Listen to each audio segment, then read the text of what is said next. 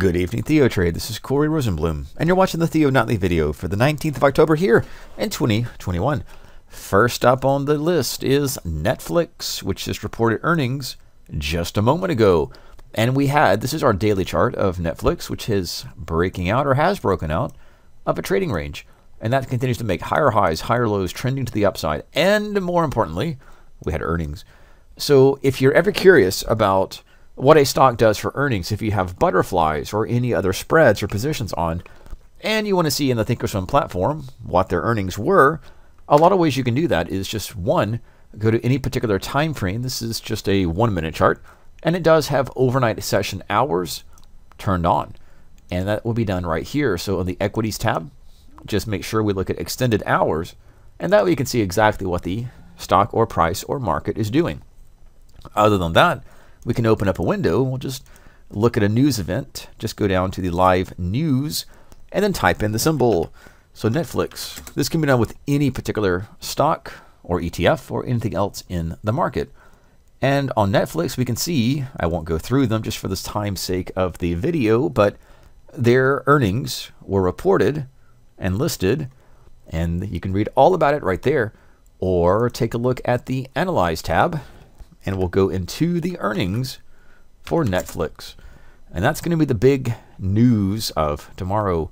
So here we are looking into the future of Netflix. And you can always check, double check, uh, when the earnings are reported or released. That's today. They haven't done that at the time of the video. So that will be by the time you watch the video or in the morning.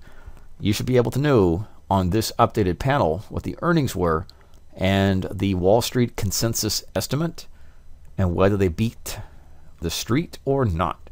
So that's the main ideas about looking at earnings and of course how the implied volatility plays after the earnings announcement. So that is where we are. It is at the moment at the time of the video, not much has changed. Netflix had a spike to the upside. They reported $3.19 per share, but the price has come back to where it closed the session. So we'll pick up right there. Outside of Netflix, just quickly, the stocks in the S&P 100 that had earnings today, and they're before the bell, so they are complete at the moment, was Bank of New York Mellon, gapped down, closed the session relatively unchanged. Procter & Gamble traded down from its range. Similarly, had earnings to the downside, or at least the stock went to the downside. Philip Morris, not a big move, but necessarily, that is where the stock is closing back at the bottom of its trading range. And finally, Johnson & Johnson had a bullish bounce off of support and a breakout in a trend day on the intraday chart. Again, Netflix will report, or his reported, and you'll see that in Wednesday's session. Also in Wednesday's session, we'll have Abbott Labs. We'll actually detach this and look exactly where the earnings will be. And again, this is the days till earnings column. And you can get this here at TheoTrade. So it is just a watch list tool and just put this into the customize and it's just a days till earnings. Take everything else off and what it says is when it's a 1, that means tomorrow at the opening bell or before the opening bell. And 5 or 1.5 means after the bell. Look at what's coming up. Tesla. So Tesla reports earnings tomorrow, as does Kinder Morgan, and IBM after the bell.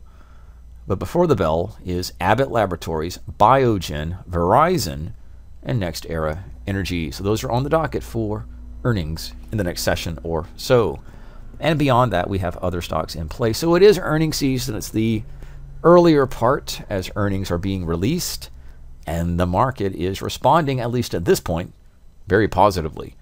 And we're having not an all-time high, we're having a push back toward those S&P highs. And that's about 15 or 4,500 and, well, about 50. So 4550, that's your futures in the SPX. That's about the same level. And we're seeing an impulsive bounce.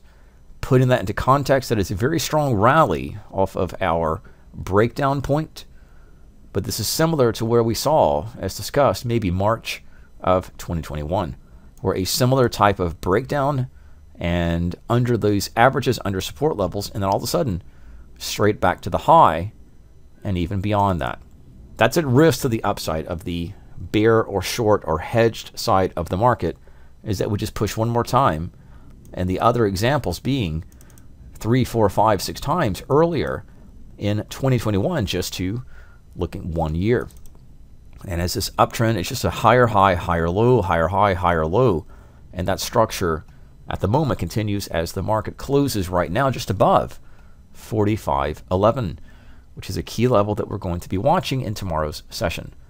So futures at the moment are a little positive after the close. Again, we'll have earnings aplenty in stocks, and Netflix will be the focal point most likely.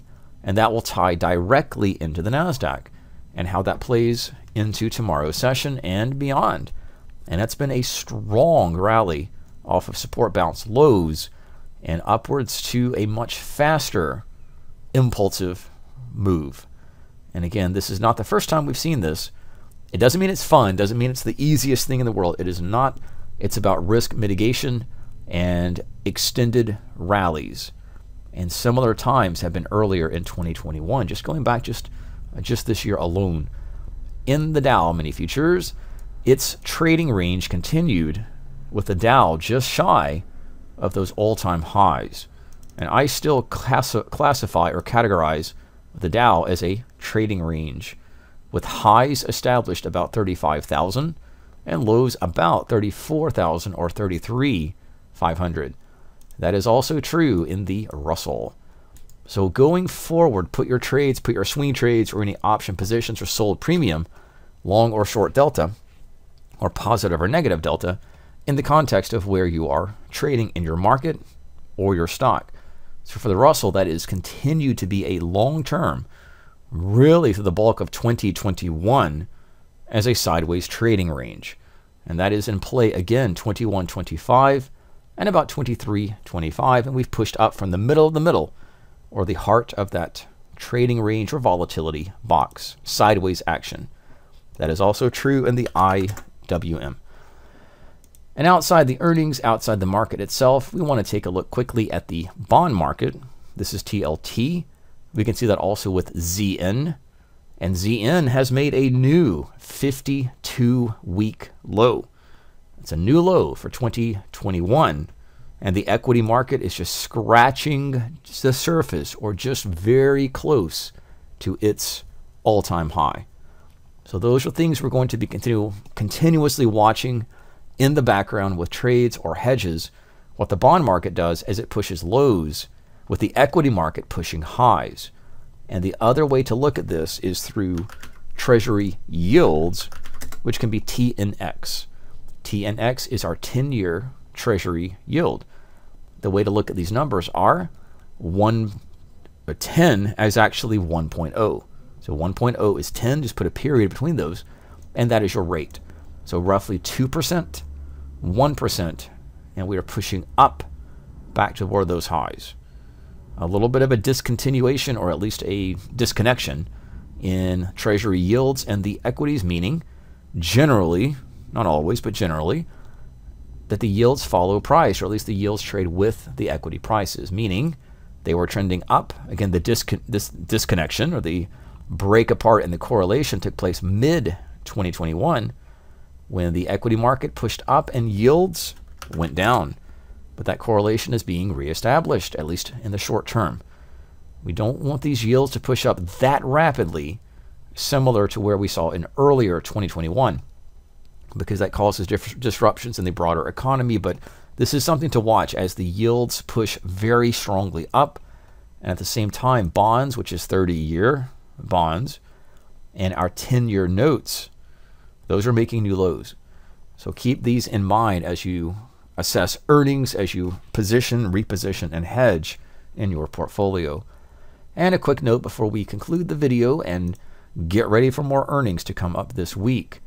We'll take a look at our scan and some of the stocks making new 52-week highs in the S&P 500 include as sorted by market cap 42 of those stocks and the biggest ones are Microsoft, Home Depot, Salesforce, Pepsi, Accenture, Lowe's, and others.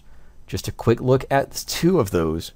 Microsoft is a leading technology name, and it is making new highs, outperforming the NASDAQ at the moment, at least making higher highs. And we'll look just at Home Depot, which is a component, and it also is keeping this bullish or this uptrend, really not clean, but still higher highs, higher lows. And Home Depot is pushed to a new high. And we'll look at Salesforce.com, just a quick note, and finishing up with PepsiCo.